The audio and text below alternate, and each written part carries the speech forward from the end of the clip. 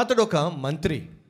ఉన్నతమైన పదవిలో ఉన్నాడు. ధనాగారమును చూసుకుంటున్నాడు. ఈ వాజ్ ఎ ట్రెషరర్ కోశాధికారి.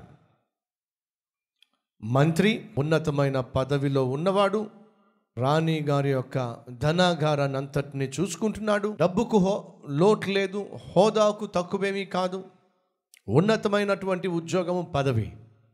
సహజంగా ఒక మనిషికి డబ్బు ఎక్కువైనా ఒక మనిషి దీనస్థితిలో నుంచి ఉన్నతమైన స్థితికి తీసుకొని పోబడిన పదవి కావచ్చు పోస్ట్ కావచ్చు పొజిషన్ కావచ్చు ప్రాపర్టీస్ కావచ్చు ఒక వ్యక్తికి అధికమైనప్పుడు సాధారణంగా అందరిలో కాకపోయినా ఎక్కువ శాతం ఒక వ్యక్తికి ధనము అధికమవడం వల్ల భక్తి బాగా పెరుగుతుందంటారా తగ్గుతుందంటారా?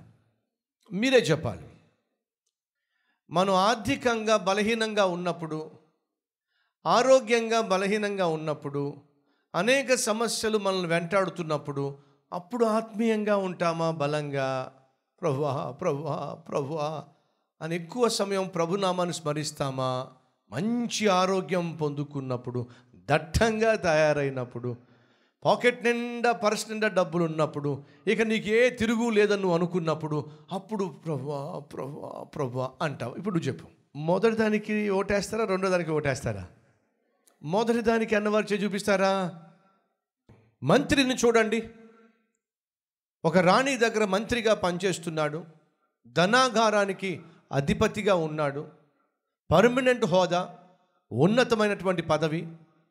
కానీ దేవుడంటే భయము భక్తి కలిగి ఉన్నాడు. దేవుని మందిరానికి వెళ్ళి ఆయనను ఆరాధించాలి అనేటటువంటి ఆత్మీయత కలిగి ఉన్నాడు. ఇథియోపియా దేశము నుండి ఎరుషులేముకు వచ్చాడు. కొన్ని వందల మైళ్ళు ప్రయాణం చేశాడు. ధనవంతుడు ఉన్నత పదవిలో ఉన్నవాడు ఒక దేశ ఖజానాకు అధికారిగా అధికారిగా ఉన్నాడు. అయినా భక్తి కలిగి ఉన్నాడు భయం కలిగి ఉన్నాడు. రెండవదిగా ఎరుషులేములో ఉన్న మందిరానికి వచ్చి ఆరాధిస్తున్నాడు. మనలో కొంతమంది ఉద్యోగం లేనప్పుడు ఖచ్చితంగా మందిరానికి వచ్చి దేవుని ఆరాధించేవాళ్ళు. గర్భఫలం లేనప్పుడు ఖచ్చితంగా దేవుని సందికి వచ్చి ప్రార్థన చేసేవాళ్ళు. వ్యాపారంలో నష్టము కష్టాలు వస్తున్నప్పుడు ఖచ్చితంగా దేవుని సందికి వచ్చి ప్రభువా ప్రభువా కనికరించాయా వ్యాపారంలో అన్ని నష్టాలు వచ్చేస్తున్నాయి నాయన అని చెప్పి ప్రార్థన చేశారు. మీ ప్రార్థన దేవుడు విని గర్భఫలం ఇచ్చాడు మీ ప్రార్థన దేవుడు విని మీకు ఉద్యోగం ఇచ్చాడు పర్మనెంట్ చేశాడు ప్రమోషన్ ఇచ్చాడు జీతం పెంచాడు మీరు చేస్తున్న వ్యాపారంలో ఆశీర్వాదాన్ని ఇచ్చాడు లాభాన్ని ఇచ్చాడు. ఏమిటి బ్రదర్ ఈ మధ్య మందిరానికి సరిగా రావటం లేదు అంటే ఎక్కడండి? వ్యాపారంలో నాకు అసలు తీరికే ఉండడంలా.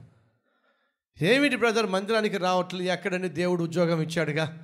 ఆ ఉద్యోగం ఆదివారం కూడా చేయాల్సి వస్తుంది. అందులో ఈ మధ్య నాకు ప్రమోషన్ వచ్చిందిగా బాధ్యతలు బాగా పెరిగిపోయినాయి. అన్ని పనులు నేనే చూసుకోవాల్సి వస్తుంది.